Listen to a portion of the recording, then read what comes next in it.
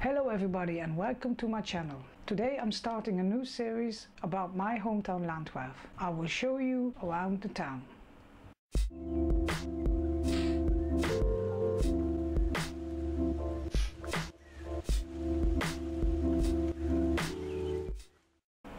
But before I do that, I have to explain something for all of you. When you're a regular visitor of my channel, you will notice that I'm not usually in front of the camera. Well, I've changed the format a bit and that has a reason because I got two great advice of two great vloggers. One is Michael Feyrer Jr. He is an American vlogger and has a daily live stream.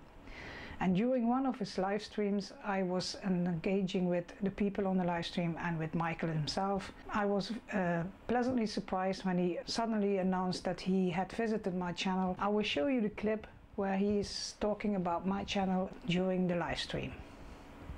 Carin Somers lives in Holland.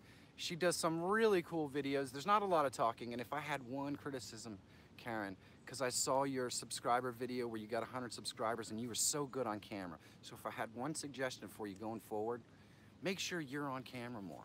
Be more of a personality, be a part of the show because people really want to see that.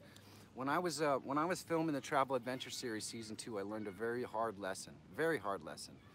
Um, there's lots and lots of beautiful waterfalls and amazing vistas and all this sort of stuff. And the simple fact is everybody says that they want to see the beautiful things in life. And the reality is that's not actually why they watch. And my viewers were okay, but my watch time was horrible. Nobody was watching the whole video because, well, I don't know, seven minutes of waterfalls just isn't apparently very exciting. So when I started to put myself in the videos and I was the focus of the videos and the waterfalls were just the beauty that was happening behind me with some really quick B-roll of the beauty of the waterfalls and stuff, the retention on the videos went way up so the lesson that I learned is people come to your channel to see you. And if I had any suggestion, Carin, that would be it because you're really good on camera. Your 100 subscriber video was awesome. But she does content of local events and local things like that. And you guys could, you guys should definitely go and check out Carin Somers. She does a really, really nice job. When I saw this during the live stream, I was pleasantly surprised, but it left me with a dilemma. There's a reason why I don't went in front of the camera because I'm very conscious of my pronunciation. As you can hear, I'm not English, I'm Dutch. And when, when I speak English, it's with a Dutch accent. I always knew that would I do a vlog or would I go in front of the camera, it would have been in English. So that was my dilemma. Well, the idea was born inside my head about should I go in front of the camera? But I wasn't totally convinced. So I thought, let's think about it. And the next day, I went to another live stream, and this time it was the live stream of vlogger Gina Walters. She is an English woman who lives in Australia, and she has an own YouTube channel also.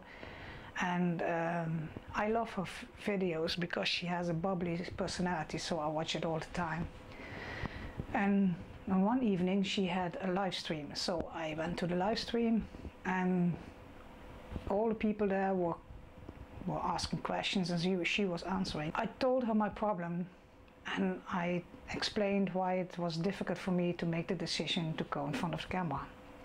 And she had an answer for me also, so let's watch that.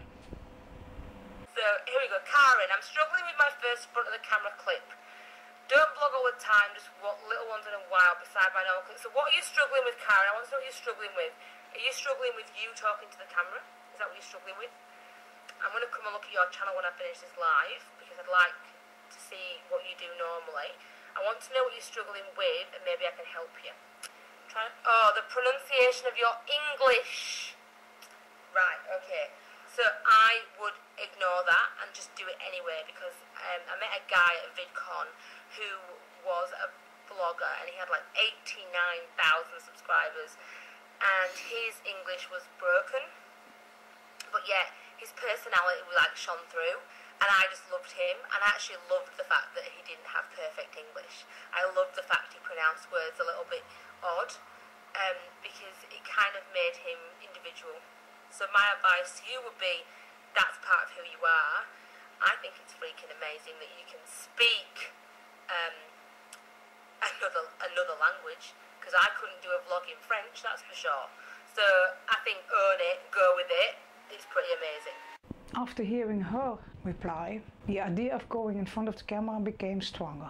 And there were a lot of other people on the live stream who commented and gave me positive feedback to just go out and try it and don't be afraid.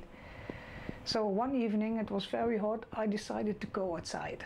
And I decided to take a walk and bring the camera with me and try some practicing of transitions and b-roll and just average things you do when you take your camera with you. And while I was doing that, I got the idea of why not make a series about my hometown, Landgraaf? And while I'm doing that, why not do it in front of the camera? And that is what I am going to do. So I start a new series beside all the other items that I always will show, like the great events that happen here in the neighborhood. I will still uh, film them and edit them because I love the process of filming and editing. So I will keep doing that.